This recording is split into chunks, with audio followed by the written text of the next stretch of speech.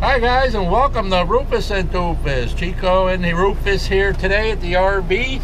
Just wanted to say hello. Say hello Rufus. Hey, how you doing buddy?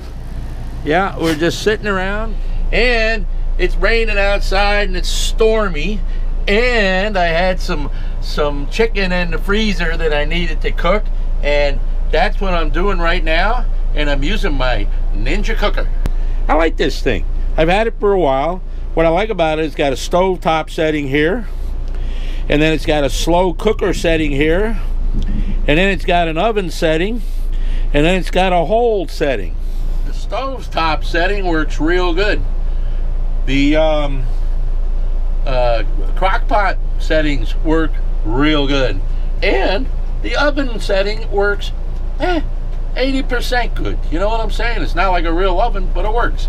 So let me show you what I got here. These are some chicken breasts, bone in, skin on. And uh, what I've done is put them in the Ninja cooker with the skin side down. And I'm gonna get that nice and brown.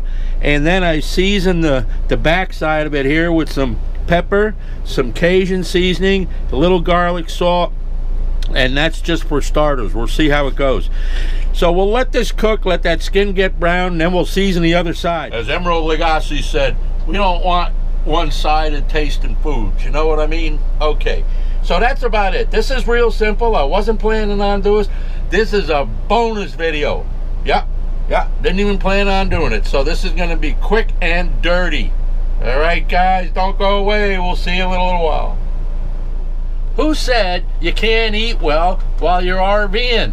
It's a lie. You can eat fantastically well. Absolutely. Our chicken done is done, and let me show it to you. Look at the beautiful color on that chicken. Nice, nice. Oh yeah.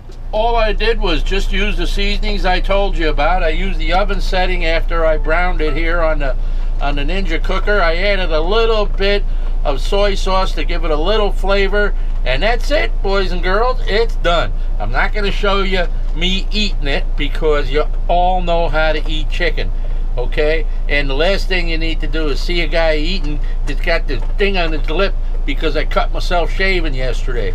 So you guys enjoy. I hope you give me a thumbs up. Don't forget to subscribe and we'll see you real soon.